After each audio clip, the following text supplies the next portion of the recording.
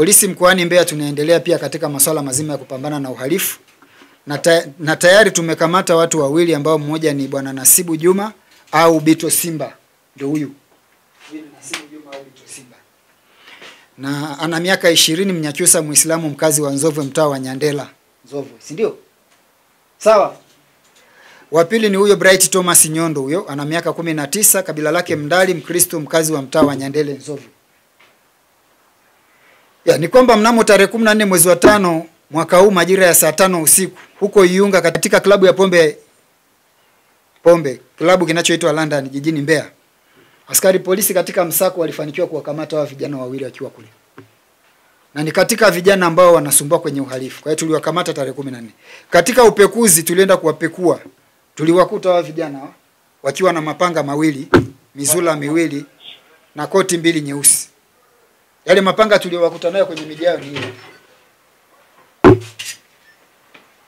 Haya mapanga tuliyakuta kwa hawa vijana. Si unaona alivyokaa vizuri eh? Sasa labda watatuambia kama ni wa, ni watu wa labda shughuli za kilimo au ni kitu gani. Ndugu zangu, na nyie muone tu kofia hizi. Kofia sio za kwetu wala hazikuwa hapa kituoni. Katika ule upekuzi tuliofanya baada ya kuwakamata usiku, tuliwakuta akiwa na hivyo, lakini walikuwa na makoti mawili meusi.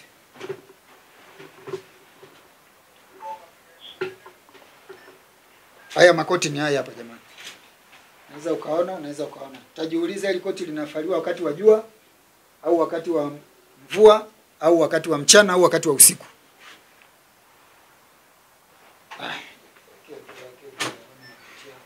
Hili la nani katika wawili?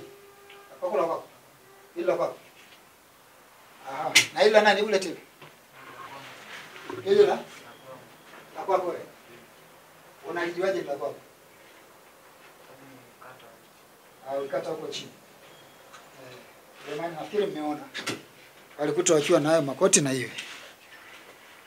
Watuhumiwa hawa wawili wao wenyewe wamefanya matukio zaidi ya 30 ya unyang'anyi katika maeneo haya ya jijini kwetu pamoja na ubakaji sasa. Sio yale tu ya kunyang'anya, ni kuvunja nyumba, kuingia ndani, kukata mapanga na kubaka. Maeneo haya wamefanya maeneo gani? Wamefanya Nzovwe, wamefanya Iunga, wamefanya Iwambi. Sasa hawa nimesema wanatoka kijiji cha wapi? Ndanyela. Yaani wanatoka kwenye ule mtaa wa Nyandela, nda, nda, Ndanyela, maeneo ya Nzovwe. Tarehe ishirini na sita mwezi wa tatu mwaka huu majira ya saa nne usiku kwenye, kwenye ule mtaa wa Inyala ulioko katika kata ya Iunga sijui walivamia nyumbani kwa mwalimu wa Musti. Mwalimu huyu anaitwa William Bata. Walivyovamia kule walimjeruhi kwa mapanga kichwani na sehemu mbalimbali za mwili wake, kisha waka wakawa wametoweka. Kama mtagundua hivi karibuni, kuna mwalimu mmoja wa chuo cha Mbeya University of Science and Technology alilazwa hapa hospitali kwa kuvamia nyumbani kwake, katwa katwa mapanga sana usiku. Vijana walifanya hiyo kazi, baadaye wakatoweka.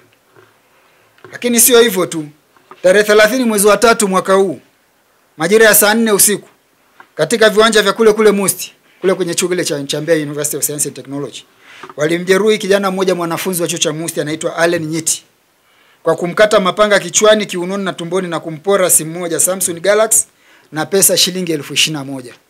Ile simu tayari tumeshaipata sababu ilikuwa na namba, jeshi la polisi imeshaipata na ile pesa wakawa wameondoka nayo. Vijana hao wawili walifanya hilo tukio. Lakini pia tarehe tano mwezi wa nne mwaka huu majira ya saa nane usiku katika mtaa huo wa Ndany- Ndanyela huko huko maeneo ya Nzovwe walimvamia Fatuma Haji, huyu ana miaka ishirini moja, walimbaka lakini pia wakapora hela shilingi milioni tatu laki mbili na themanini.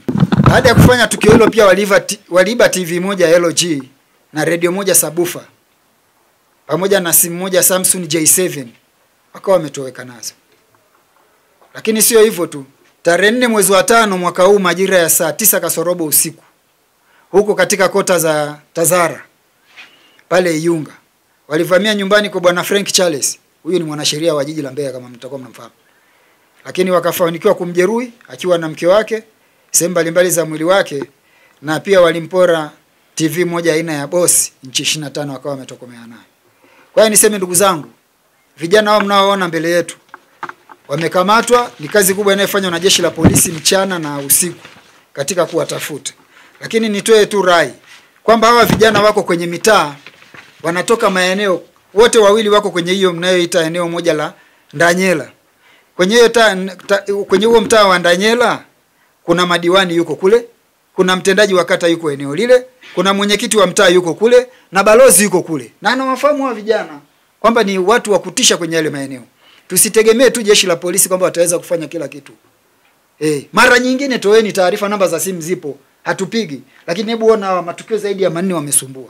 Kata kata watu mapanga, nyanyua TV za watu, vunja nyumba za watu. Ah, Sasa maisha gani hayo?